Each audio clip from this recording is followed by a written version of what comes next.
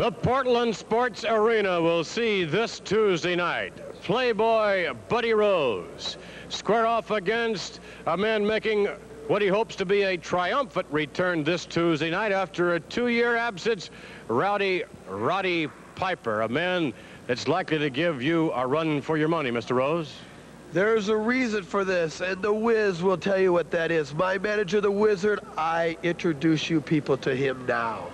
You have a so-called champion that answers to the name of Ric Flair, who deliberately got himself disqualified to save his belt, and now he sends in stooge number one, Roddy Piper. Well, Roddy, let me tell you on my behalf and on Buddy's, you're gonna be playing your bagpipes from a different when Buddy Rose gets done with you. That's right. Piper, now you make your return. Now you want a championship match with Ric Flair. Well, I have found out that the winner of this match will get to meet Ric Flair in the near future in the Portland Sports Arena.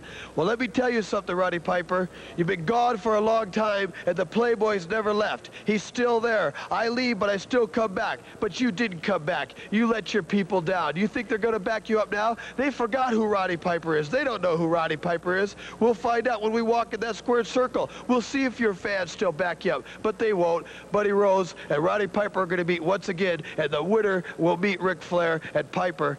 It's going to be a fight, but I'm not going down no more.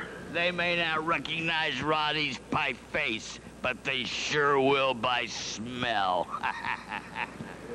the Grand Wizard, along with Playboy Buddy Rose, Mr. Rose, locking up with Rowdy Roddy Piper. It'll be this Tuesday night at the Portland Sports